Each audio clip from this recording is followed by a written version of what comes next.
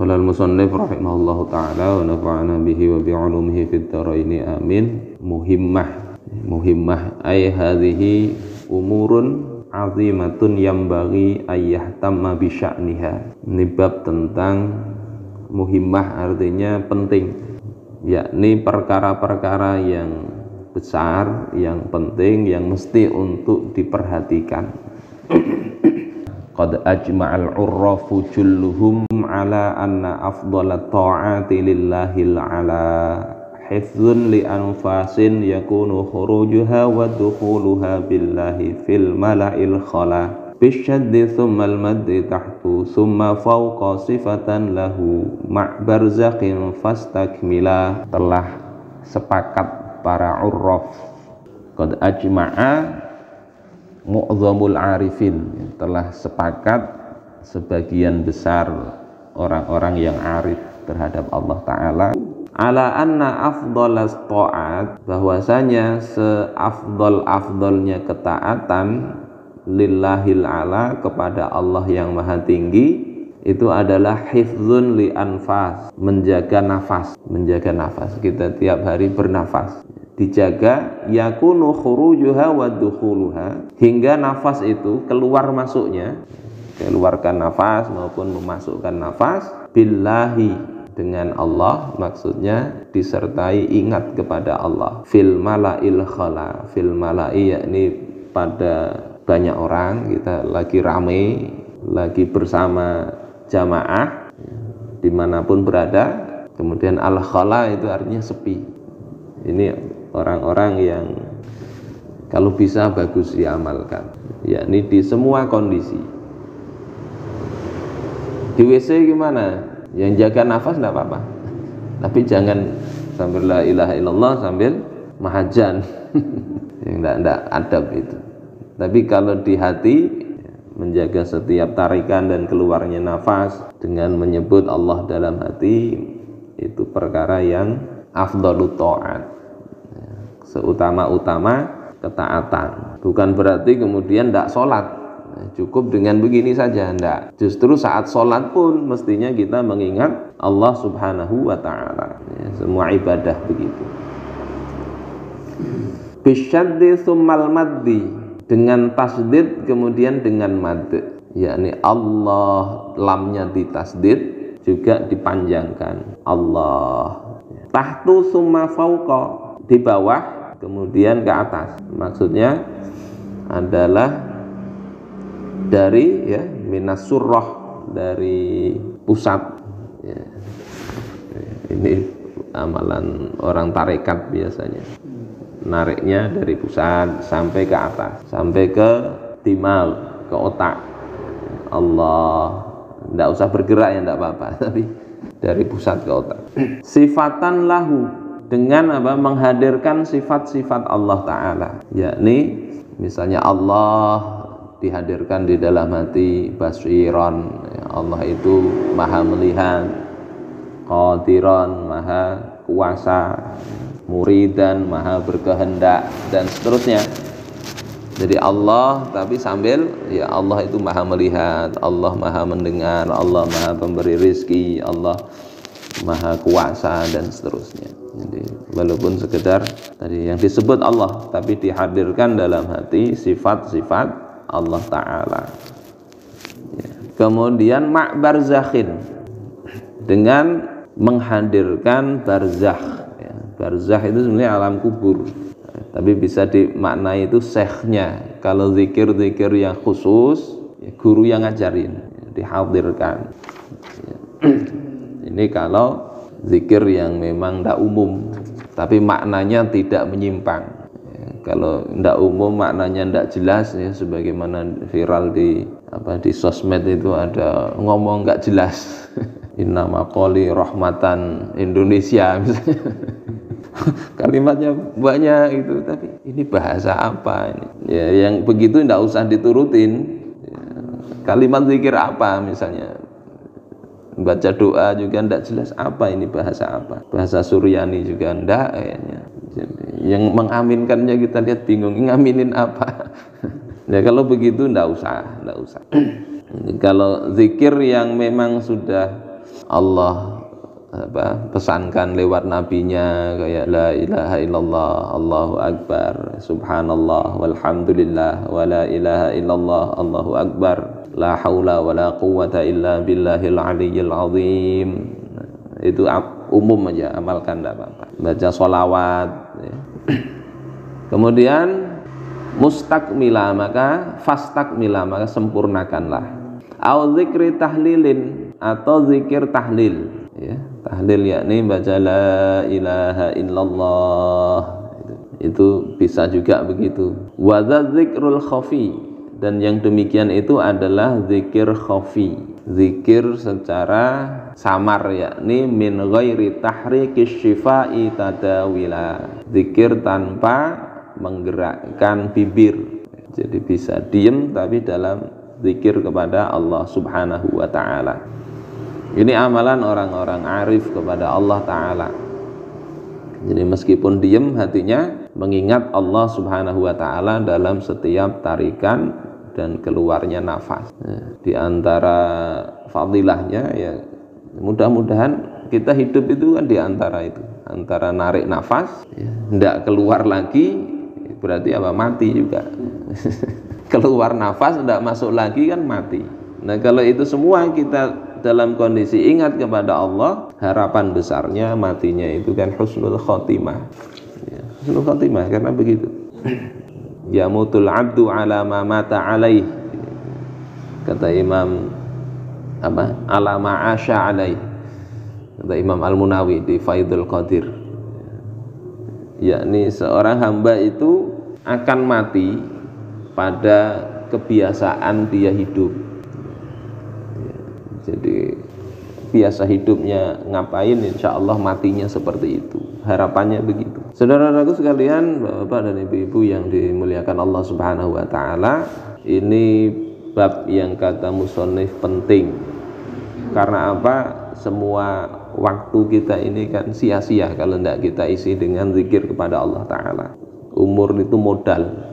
Berlalu begitu saja tanpa ada nilainya Allah katakan dalam Al-Quran ya, Innal insana lafi khusrin. Sungguhnya manusia itu berada di dalam kerugian Kerugian Kenapa rugi?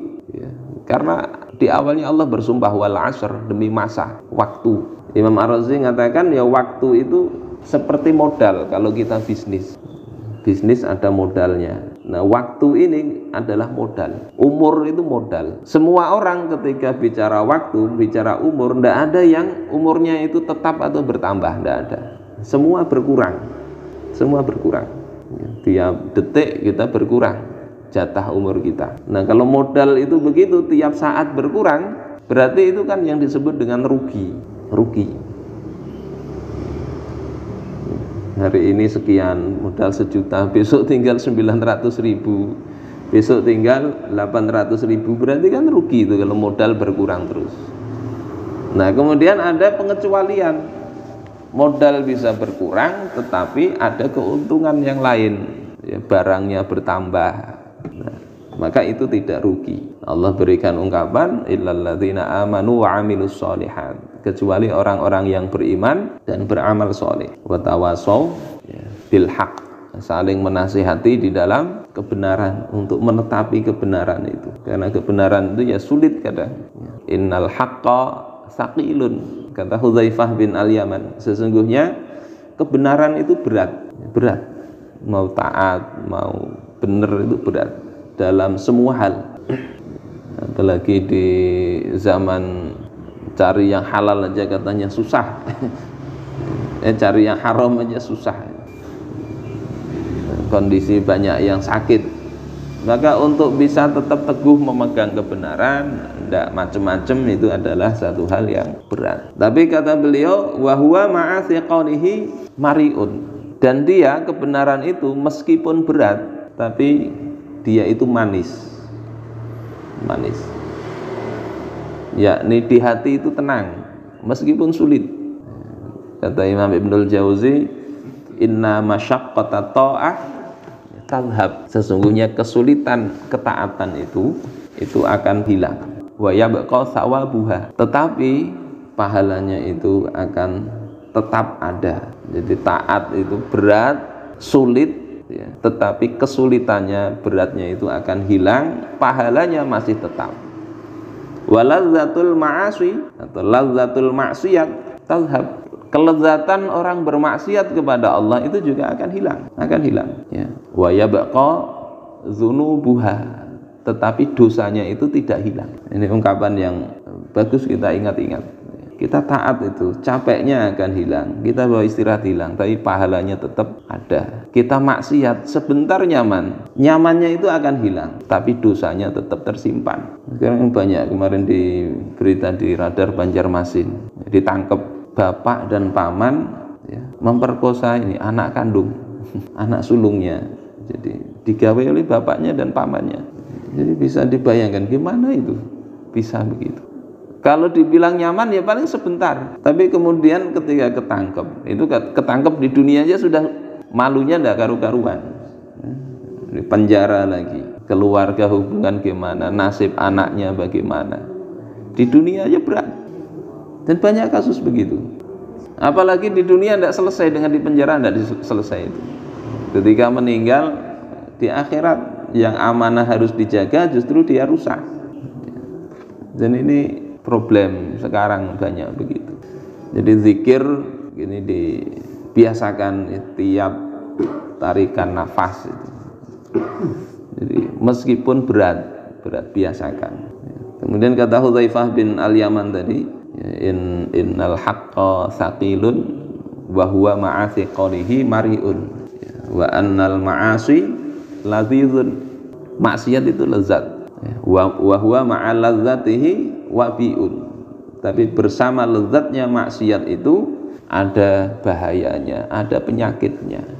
Kemudian beliau katakan berapa banyak eh, apa eh, orang yang melakukan maksiat itu ujungnya nyesal. Dan jelas itu. Kemudian beliau katakan tarkul ma'asi aisaru min talabit taubah. Meninggalkan maksiat itu lebih mudah daripada mencari jalan untuk bertobat kepada Allah Ta'ala jadi hendak bermaksiatnya lebih nyaman ditinggalkan daripada cari jalan taubat. Menyesal itu berat ya. kadang ketika maksiat dilakukan itu justru malah dia ketagihan sehingga tidak bisa taubat itu tidak bisa. Maksiat apa saja itu. Dan kayak saya ceritakan tadi itu itu kejadiannya lama itu sejak anaknya umur berapa? 14 tahun itu sudah digitukan oleh bapak dan pamannya. Ya, sekali dua kali. Akhirnya ter, berulang kali tidak bisa berhenti. Berhentinya ketika ditangkap. Ngakunya saya khilaf. Khilafnya berulang-ulang. Ya, mungkin maunya sekali nanti sudah berhenti ya. tapi tidak bisa. Orang selingkuh itu kadang juga begitu. Kalau sudah dilakukan berat untuk berhenti Saudara ragu Bapak dan Ibu-ibu sekalian yang dimuliakan Allah Subhanahu wa taala ini zikir hati ya zikir khafi ya. Mudah-mudahan Allah berikan kepada kita eh, kemampuan untuk melaksanakannya. Cuma jangan lupa bahwasanya zikir ini ya hakikat zikir itu adalah taat kepada Allah Subhanahu wa taala. Sehingga kalau di bait ini ada fastakmila maka sempurnakanlah yakni adab zikir disempurnakan ya. adab-adabnya dalam berzikir ya. dalam kondisi suci misalnya kalau bisa ya. tapi dalam semua kondisi kalau zikir khofi zikir di dalam hati tidak mengapa kemudian yang terpenting juga di dalam aktivitas ini bab-bab sebelumnya itu mestinya sudah dilaksanakan. Ini kan bab bagian akhir. Yakni apa? Ketaatan-ketaatan baik itu zohir dan batin itu sudah dilaksanakan. Ya. Baru fokus ya, sembari fokus ke dalam zikir nafas ini. Tidak kemudian bab-bab sebelumnya diabaikan. Ya, zikir nafas tapi gawian kada baik mau korupsi. Tapi zikir. Bismillahirrahmanirrahim. Tanda tangan proyek di markup ya. UD 45 ya. beli 4 ditulis 5 nah itu orang lalai. Meskipun di dalam hati dia zikir terus. Ya Allah Allah Allah Allah. Ya, korupsi. Yang ramai kemarin apa? Korupsi 109 ton emas. Ya 109 ton. Di PT apa PT Antam itu caranya dengan bikin emas palsu dia ini yang asli diambil. Bisa bayangkan berapa duitnya itu 109 ton. Tapi memang masih banyak yang korupsi timah itu 300 triliun lebih itu. Ya Allah gimana bisa begitu? Negeri yang kaya tapi jadi sulit gara-gara itu banyak korupsinya. Nah orang korupsi itu meskipun dia berzikir kepada Allah Ta'ala itu tidak terhitung orang-orang yang zakirin orang yang berzikir tidak dia orang-orang lalai Makanya ini diletakkan di bab bagian-bagian akhir harapannya memang amal itu sudah diperbaiki. Hakikat zikir itu ya taat pada Allah kalau zikir badan itu. Kalau maksiat kepada Allah meskipun mulutnya banyak kalimat tasbih, tahlil, tahmid, gawiannya tidak benar itu hakikatnya dia adalah orang-orang yang lalai. Termasuk tidak mau sholat, tidak bisa disebut orang berzikir.